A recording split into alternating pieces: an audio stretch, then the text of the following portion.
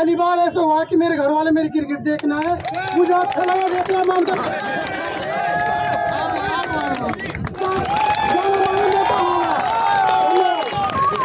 इकतीस हज़ार रुपया जो सेकंड इनाम है वो भी हाजी तौफीक को नकद दे दिया गया। जोरदार ताली भाई मोटरसाइकिल आराम करवा दे।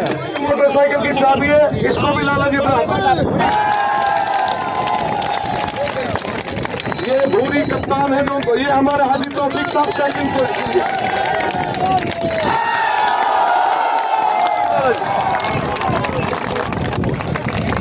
नमस्कार, आदाब, मैं हूँ अरशद बिसरू और आप देख रहे हैं मेवात। आज तक आइए दोस्तों, आपको लिए चलते हैं आज हरियाणा प्रदेश के ज़िला मेवात की ओर।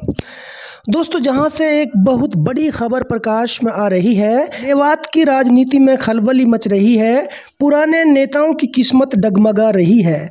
इस बार जनता नए चेहरे की तलाश कर रही है, ऐसा ही नज़ारा कुछ पुनहाना विधानसभा क्षेत्र में देखने को लगातार मिल रहा है, जहाँ के हज़ारों मतदाता बहन भाइयों ने बनिया जाति से संबंध रखने वाले चौधरी यादराम गर्ग साहब भट्टे वाले को आगामी 2024 के लिए चुनावी मैदान में पुनहाना सीट के लिए उतार दिया है। अंदाज इस यादराम गर्ग की खासियत क्या है? चलिए वो आपको विस्तार से बता देते हैं। अंदाज। ये जबान और ईमान का बहुत पक्का है, गरीबों का मददगार है, नौजवानों की मदद करता है, गरीब बेटियों को कन्यादान करता है, हिंदू मुस्लिम भाईचारे में बहुत ज़्यादा विश्वास रखता है। व्यक्ति की दो बड़ी बातें आपको बता रहा हूँ। पहली बात, जब कोरोना काल चल रहा था और लोग ज़िंदगी की भीख मांग रहे थे, नफसा नफसी का आलम था, ये एक मुस्लिम बहुल इलाका है। यहाँ के मांडी खेड़ा अल आफिया हॉस्पिटल में कुछ मशीनों की कमी आ रही थी।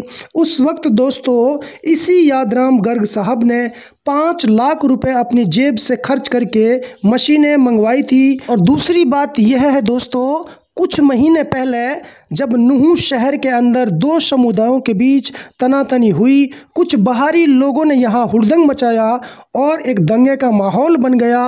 लोग घरों में भी डर और खौफ के साय में जी रहे थे, चाहे बात हिंदू की हो या मुसलमान की, लेकिन दंगा बुरी चीज़ होती है। उस वक्त भी दोस्तों, चौक चौराहे और नुक्कड़ों पर गाँव और शहर के बीच ये व्यक्ति रैली निकाल रहा था।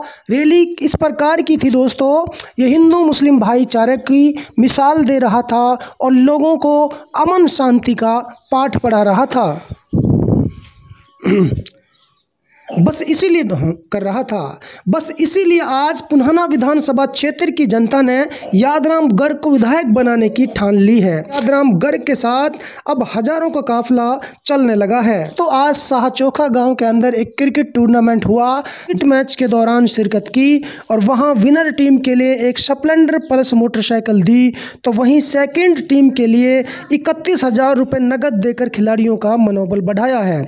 इसी दौरान हज़ारों नौजवान जवानों ने यादराम गर्ग का फूल माला व ढोल नगाड़ों से ज़बरदस्त स्वागत किया और यादराम गर्ग जिंदाबाद के जम करके नारे लगाए। इनकी लोकप्रियता लगातार बढ़ रही है तो वहीं पुराने नेता इनकी लोकप्रियता से घबरा रहे हैं। आज की इस रिपोर्ट में बस इतना ही। फिर लेकर हाजिर होंगे मेवात की राजनीति से जुड़ी कोई ताज़ा अपडेट। तब तक के लिए आप मुझे दीजिए इजाज़त। अस्सलाम वालेकुम। अल्लाह हाफिज़ तालियाँ भाई चाबी ऊपर दिखाने से करके ये चाबी कप्तान को, दोनों टीमों के कप्तानों को लाला जी पगड़ी बाँध रहे इनका सम्मान करें। जोरदार तालियाँ बजाइए आप। किसी तरीके का भी कोई बुरा मैसेज लेके नहीं जाएँगे। जिस तरीके से खेल खिलवाया है, बिल्कुल साफ़ सुथरा आपके साथ आपको दिखा दूँगा हाजिराज बेटा, आटा